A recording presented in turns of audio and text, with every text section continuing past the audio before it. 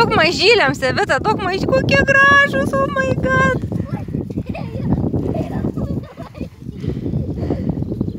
Niekas turi vieną. O jėta. Aš nieko neturiu.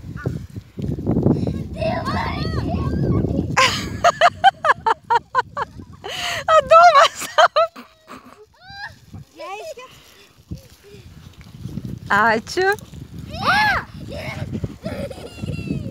Oi. Ką tu čia darai?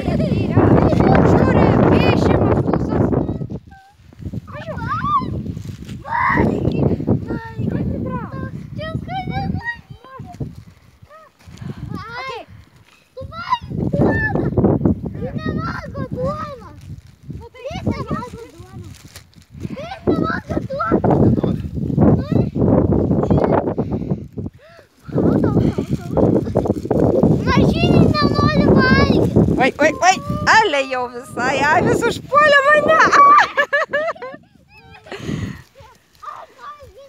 Imk, Evita, dar didelį gabalą.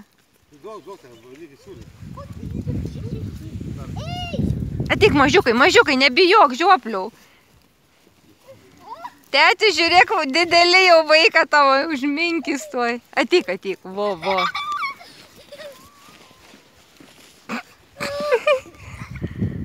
Paglostyk. Žiūrėk, kokia minkšta. Nu. Mm. Stovės. Aš nemoku net avies ausies glostis.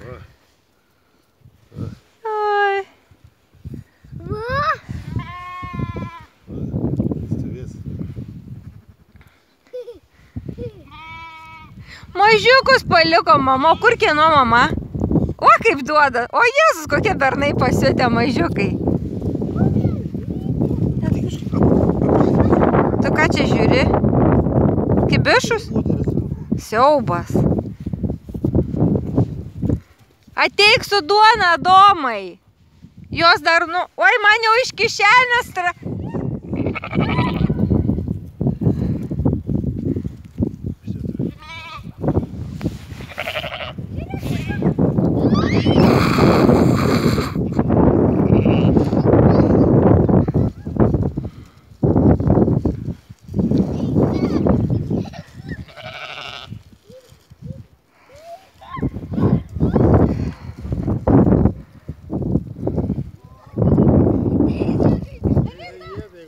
Jeigu avim duodė, o jei ne, tai paskui neduoda pradės.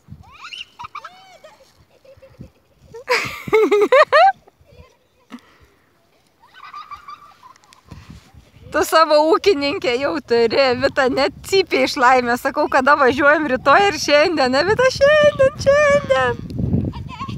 Žiūrėk, rimtai Deizė duona valgo. Šiaip tu neįsiūlysi, nes avys yra, jei dabar neduos. Čia gerai, čia gesnėras, kai tie šunys ateina kaimyno, tai jie labai skanus, tai tada labai skanu, viską suėsti. Reikia avys.